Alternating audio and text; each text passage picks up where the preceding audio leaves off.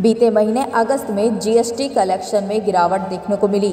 वहीं अगस्त में एक दशमलव चौवालीस लाख करोड़ का जीएसटी कलेक्शन हुआ है, जो जुलाई में एक दशमलव उनचास लाख करोड़ रुपए के मुकाबले कम है।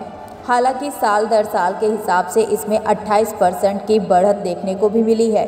अगस्त 2021 में एक दशमलव बारह लाख करोड़ रुपए जीएसटी कलेक्शन हुआ था। अब तक सबसे बड़ा जीएसटी कलेक्शन अप्रैल महीने में रहा। अप्रैल में एक दशमलव सड़सठ लाख करोड़ रुपए का जीएसटी कलेक्शन हुआ था। Bureau report IPN